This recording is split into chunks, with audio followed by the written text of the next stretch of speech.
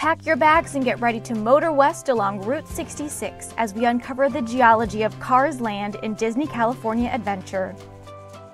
Cars Land transports guests to the town of Radiator Springs in beautiful Ornament Valley, bringing the setting of the movie to life. As a geologist and someone who lived in Arizona for nearly a decade, I absolutely love Cars Land. The fictional location of Ornament Valley draws its real-life inspiration from Monument Valley in northeast Arizona and southeast Utah, a truly spectacular southwestern landscape. And if you know where to look, there are so many wonderful geologic Easter eggs in Cars Land that help tell the story of the fictional rocks of Ornament Valley, as well as the very real rocks of the American Southwest. So join me as I share more than you could possibly ever hope to know about the geology of Cars Land. Overlooking Radiator Springs Racers, you'll find this viewpoint with National Park style signs that highlight the features of Ornament Valley and describe how the rocks formed. The sign explains that these magnificent buttes, pinnacles, and tail fins represent sedimentary layers of soft red shale, sandstone, and limestone exposed by millions of years of wind, rain, and black ice erosion. And indeed, shale, limestone, and sandstone are the types of sedimentary rocks that you see all over the Southwest. And it's the difference in the properties of these rocks that result in such stunning erosional features, known as differential erosion. Sandstone and limestone are very strong, erosionally resistant rocks, and they tend to erode to form vertical cliff faces, while shale is a weak rock that erodes quite easily, forming shallow slopes and benches. So the different resistances of these rocks as they're layered means they erode at different rates, leading to such unique and impressive features like the iconic buttes and pinnacles. The sign also notes that other contributors to the ornament formations are the combined forces of the Radiator River, which we'll assume is a stand-in for the Colorado River, and the Lincoln Continental Drift. Lincoln Continental Drift is a fun cars meets geology pun. You have Lincoln Continental, the car, and then continental drift, which was a hypothesis developed by Alfred Wegener in the early 1900s that stated that the continents moved or drifted over time, essentially a precursor to the plate tectonics that we know today.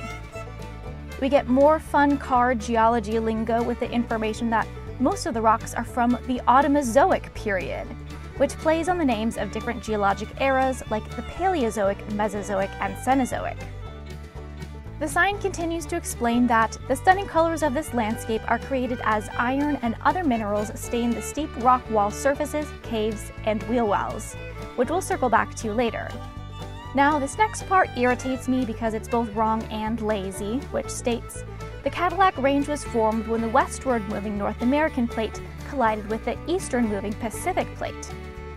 So first off, a few sentences ago, we just established that continental drift contributed to the formations, but I guess we now have full-on plate tectonics. Secondly, the tectonics are totally wrong. Looking at plate motion relative to Europe, we can see that the North American plate is moving west-southwest, and the Pacific plate is moving northwest. There is no collision between these plates. The boundary between them is a transform boundary where the plates slide alongside each other. Instead of the Pacific Plate, they actually mean the Farallon Plate.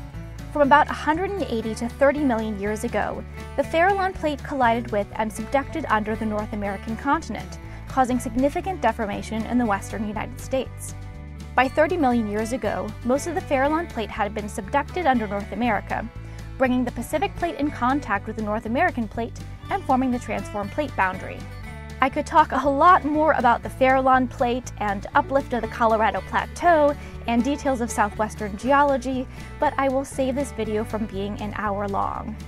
Suffice it to say that it's very lazy to use the names of real tectonic plates, not even car puns, and get none of the tectonics right. The last section gives us more fun car rock names discussing the oldest schists and gneisses of the region, with Lasallius, Eldoradomorphic, and Coop Group. And that segues into a visual depiction of the rock layers, a stratigraphic column. Now, if you're a geologist who knows anything about the Southwest, you will immediately recognize that this is a stratigraphic section of the Grand Canyon. So although Ornament Valley is Monument Valley, I guess its rocks are those of the Grand Canyon. Because the Grand Canyon is so deep, it exposes much older rocks than what you find in Monument Valley. The youngest rocks in the Grand Canyon are actually around the same age as the oldest rocks that you see in Monument Valley, about 280 million years old. Now, I personally would have chosen Canyonlands National Park in southern Utah, a bit north of Monument Valley, as the location to base the stratigraphy on, but I guess the Grand Canyon is flashier. Now, there's three main generations of rocks in the Grand Canyon. You have the very old basement rocks. As a sign noted, these are our schists and gneisses. Then there's an unconformity, an erosional gap in the geologic record, before a series of rocks were deposited, then faulted and tilted after which there's another unconformity and the deposition of many layers of sedimentary rocks. Now, I have some bones to pick with lazy mistakes. First, they put huge layers of quartzite and granite in the young group of rocks, when it should only be the large formations of sandstones, limestones, and shales like the sign said in the first sentence. Those igneous and metamorphic rocks would be found in the older rock groups. Second, remember how I said that sandstones and limestones form steep cliffs and shales form shallow benches and slopes? Well, they had no regard for that by labeling cliff layers as shales and sloped layers as sandstones. Now you might think that all these names are just made up car puns, but the Redwall limestone is actually the name of a real formation in the Grand Canyon, so it's sad they gave it to the smallest layer here. The real Redwall limestone gets its name because the surface of the rock is stained red from the runoff of overlying red rocks. The actual color of the rock itself is an off-white. This brings us back to how the sign said, iron and other minerals stain the steep wall surfaces. When rocks in arid and semi-arid environments are stained on their surface, that is what's known as a desert varnish. While just the surface of the Redwall limestone is stained red, other rock units in the southwest are red because every individual grain is covered in a thin coating of iron oxide, or rust, kind of like the hard candy coating on the outside of an M&M. I also think they should have given the Redwall limestone more importance because the real Redwall limestone has many caverns, which brings us to Taillight Caverns. Now, our science says that Taillight Caverns started forming 3 million years ago as acidic groundwater seeped down and began dissolving the rock, which is how the caves of the Redwall limestone formed, except that those started forming around 330 million years ago. The next sentence reveals what the actual inspiration for Taillight Caverns is. The sign says, at the same time, hydrogen sulfide gas migrated upward from oil deposits to turn the underground water into sulfuric acid. Now, what real world cave system was formed from hydrogen sulfide seeping upwards from petroleum reserves below? Well, none other than Carlsbad Caverns in far southeastern New Mexico. Carlsbad Caverns is unique because most caves don't form from sulfuric acid coming from below. Caves typically form from acidic rainwater, which becomes carbonic acid coming from above. Now, even though Carlsbad Caverns takes us very far away from both Monument Valley and the Grand Canyon, you can see why they use it as the inspiration for Cars Land because you take one letter away and it becomes Carsbad Caverns. We come back to the fun Cars geology terms with descriptions of an incredible array of stalactite and stalagmite formations, a play on stalactite and stalagmite. You can remember the difference in these cave formations because stalactites hold on tight to the ceiling and stalagmites might grow up from the ground. And you get to travel through Taillight Caverns and see the stalactite and stalaglite formations at the end of Radiator Springs Racers. So now that we know more about the rocks of Cars Land and their real-life inspirations, let's look at some of the main landscape features and formations. The sign indicates the Lincoln Continental Divide, which now makes two Lincoln Continental puns. The Continental Divide is the dividing point between everything that drains out to the Atlantic Ocean and everything that drains out to the Pacific Ocean. If we're in northern Arizona, we'd be west of the Continental Divide, so it should have been marked as the easternmost feature on this sign. One of the most prominent features here is Radiator Cap, a karstified version of the buttes of Monument Valley. I feel it's most reminiscent of Merrick Butte so we know there has to be soft rocks on the bottom and a hard resistant cap of rocks on top. Then there's Mount Everest, a fun play on Mount Everest in the Himalaya. And then we have the iconic Cadillac Range, which specifies Mount 57 through 62. The Cadillac Range plays homage to Cadillac Ranch in Amarillo, Texas. This art installation features 10 Cadillacs, one from each year between 1949 to 1963, that are buried in the ground with their tail fins pointed up. So the numbers of the different Cadillac Range mountain peaks pay homage to the different year Cadillacs from Cadillac Ranch. Now, earlier I did not like the science explanation for the formation of the Cadillac Range with the wrong tectonic plates. Since these are rocks that mimic an art installation rather than actual geology, there's not really a geologic process that can perfectly explain its formation, especially given that most of the other rocks here are horizontal and undeformed. Rather than forming from plates colliding together, the Cadillac Range is more reminiscent of rocks being normal faulted and tilted. Mountains can also form from the crust being stretched out, and the mountain peaks are vaguely reminiscent of basin and range geology, where the crust is stretched and blocks of rocks get tilted. The mountain peaks could also be like an erosional remnant of a monocline, where there's a single bend in the layer of rocks, a feature that you do see on the Colorado Plateau. Based on the Carburetor Canyon name, it feels like a perfect play on Cataract Canyon, a canyon in Canyonlands National Park, which again I feel should have been the rock inspiration over the Grand Canyon. Another fun feature here is Pipes Peak. This is a great recreation of a precariously balanced rock. A precariously balanced rock is exactly what it sounds like a rock that is in a precarious position and looks like it could easily topple.